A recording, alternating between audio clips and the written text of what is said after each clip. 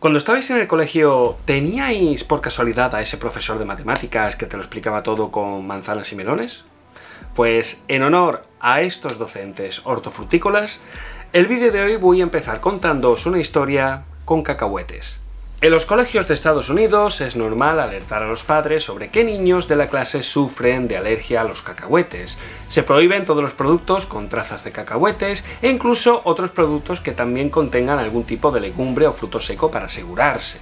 Sin embargo, con esto se da un fenómeno curioso, y es que a pesar de la seguridad que se busca en los colegios y de la protección por parte de profesores y padres, la cantidad de niños con alergia a los cacahuetes ha aumentado mucho desde los años 90. Vamos a ver cómo es esto posible si se supone que nuestros niños están más protegidos, más seguros y más sanos. La respuesta, si eres seguidor de mi canal, seguramente te la veas venir, pero te daré la oportunidad de que la escribas en los comentarios antes de seguir. Y si no eres seguidor... Bueno, eso se arregla pronto. Suscríbete y resolvamos esta cuestión juntos. Quédate hasta el final porque vamos a llevar a la realidad la famosa cita de Nietzsche. Lo que no te mata, te hace más débil.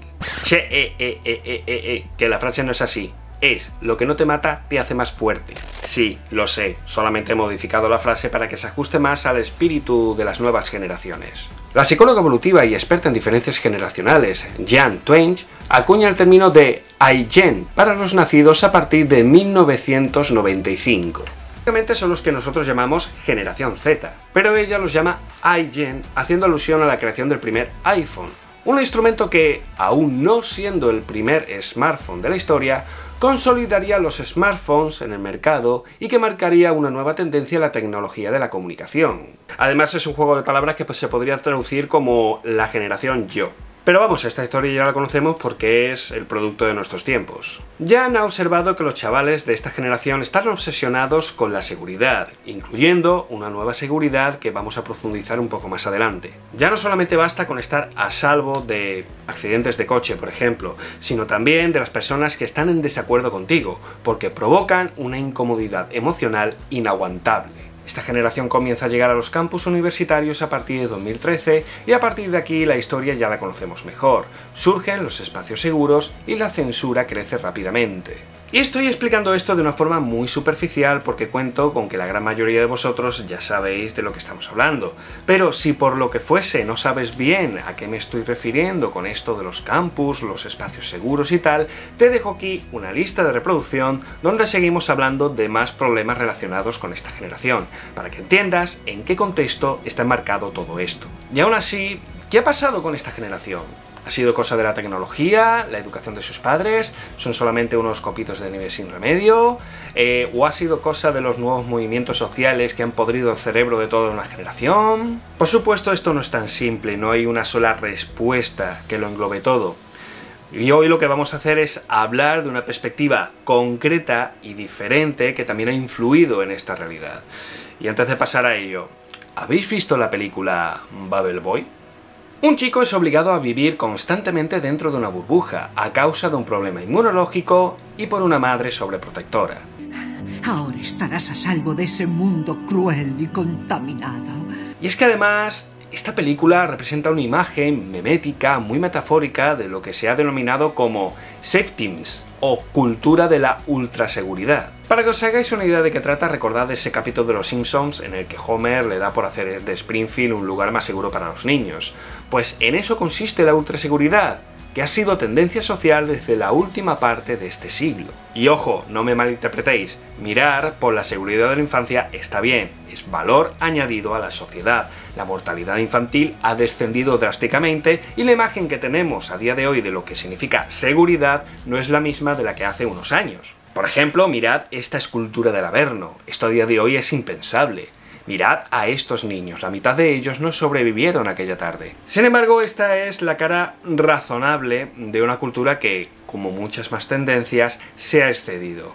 Ahora hemos convertido la seguridad en un nuevo culto. Se ha producido un desplazamiento del concepto de seguridad. Ahora no solamente abarcamos lo físico, sino también lo emocional. La cultura de la ultraseguridad equipara la incomodidad emocional con el peligro físico. Es decir, no solo debo de protegerme de los peligros físicos, sino también de todas aquellas cosas, ideas incluidas, que me hagan sentir mal. Recordad de lo que decíamos antes. Ya no solamente basta con estar a salvo de accidentes de coche, por ejemplo, sino también de las personas que están en desacuerdo contigo, porque provocan una incomodidad emocional inaguantable. La seguridad se vuelve algo sagrado y se debe de sacrificar todo por el bien de esta última.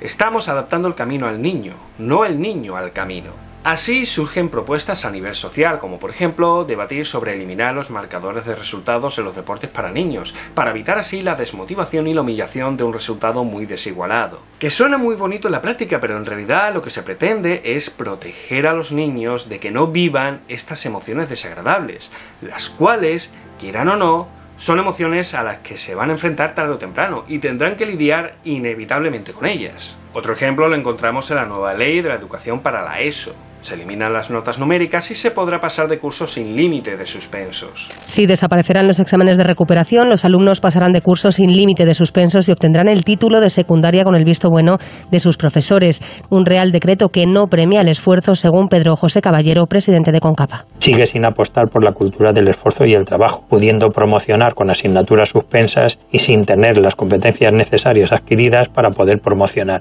Nuevamente, el objetivo sigue siendo proteger a los chavales de fracaso escolar, pero no incentivando el trabajo para el éxito, sino eliminando la posibilidad de fracaso para que no se sientan frustrados. En otras noticias vemos que se eliminan palabras malsonantes, como por ejemplo suspenso, para nuevamente que el alumno no se sienta mal. Y a ver, esta pretensión de protección no es solamente a un nivel institucional, al hablar de cultura estamos hablando también de los niveles más íntimos y los ámbitos familiares. Un ejemplo extraído del libro Sentimentalismo Tóxico. El autor del libro leyó una noticia de un periódico local en la que un padre exigía airadamente las disculpas por parte de un centro comercial, después de que su hija descubriese una pata de pollo que se supone no debería de estar en un plato precocinado. Así se describe la noticia. Han arruinado nuestras cenas. Solo comprábamos pechugas y no comprendemos cómo pudo llegar ahí. Mi hija de 11 años rompió a llorar y allí estaba aquello, toda la cena echada por la ventana.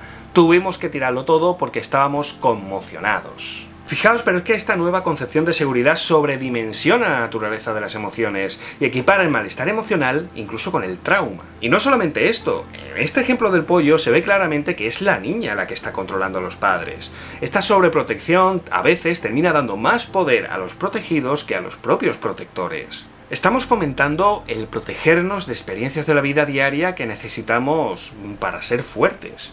Si te privas, estarás más indefenso, serás más frágil.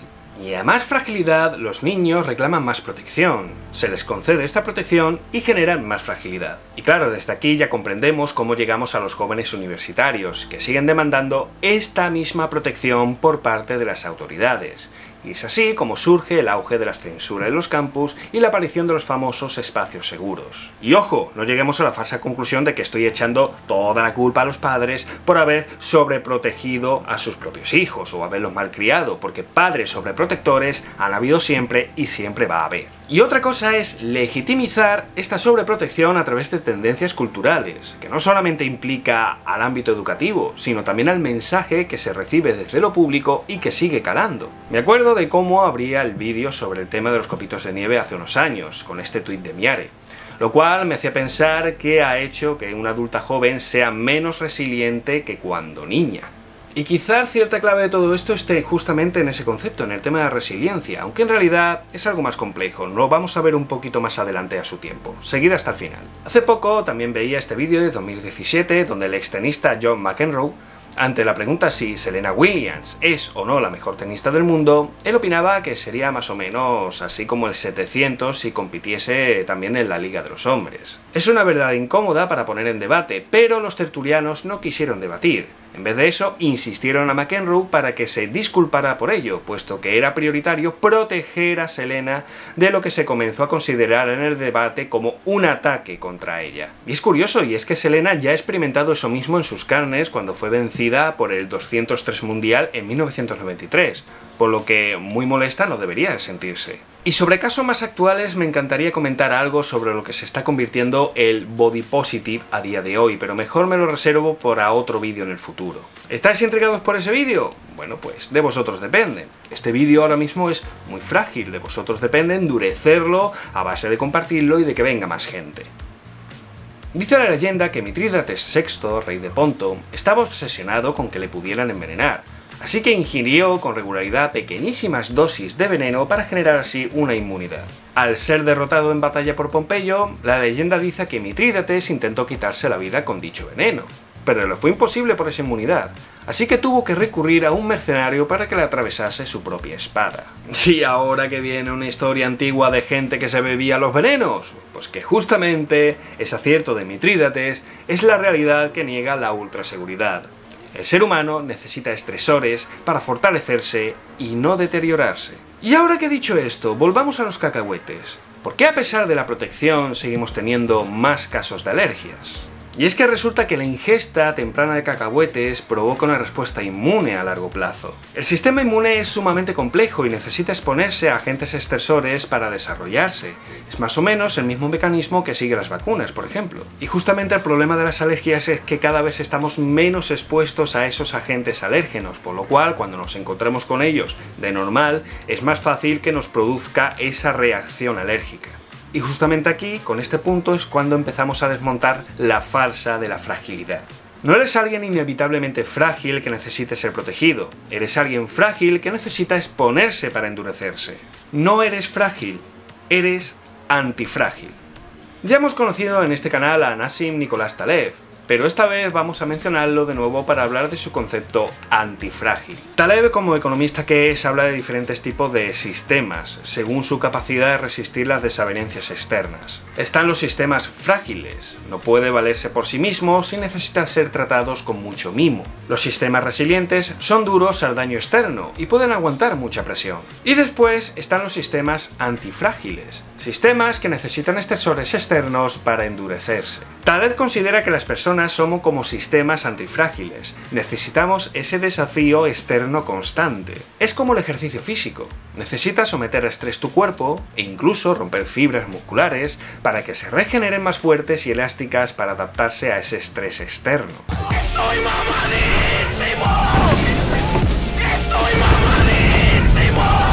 Y es más, algunos de los tratamientos psicológicos más eficaces se basan también en esta antifragilidad.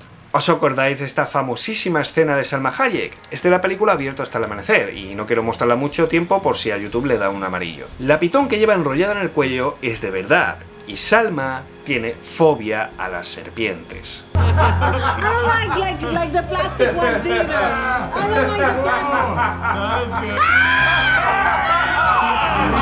Como anécdota, la escena la terminó haciendo porque Tarantino le mintió, le dijo que no pasaba nada, que si no quería hacer la escena con la serpiente, que su papel pues le interpretaría Madonna. Y por supuesto Salma no iba a permitir eso, así que se preparó psicológicamente para realizar la escena y lo consiguió.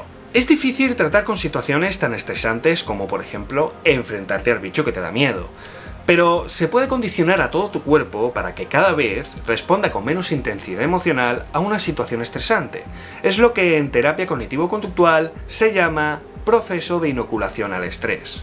Y no solo es un tratamiento que te permite adaptarte a un estresor que te causa problemas, sino que con el tiempo y el enfrentamiento te es más fácil adaptarte a otro tipo de situaciones estresantes. Pero sería imposible adaptarte tan rápidamente a estas nuevas situaciones si antes no te has expuesto gradualmente a esos estresores que tanta reacción emocional te provoca. Es un buen ejemplo para plasmar cómo realmente todo tu organismo se adapta al medio exponiéndose a él, y no esperando que el medio se adapte a tus necesidades. Es cierto que el propio progreso hace que no nos expongamos a los mismos estresores a los que tenían que exponerse nuestros abuelos o bisabuelos. Solo el hecho de que la sociedad avance y que ello se traduzca en mejoras en la calidad de vida general genera unas diferencias intergeneracionales y siempre vemos a los jóvenes como más mimados en comparación a nosotros, que tuvimos que jugar aquí. Pero eso es positivo, avanzamos a mejores condiciones de vida y las generaciones venideras no tendrán ni que sufrir ni que adaptarse a estos nuevos estresores.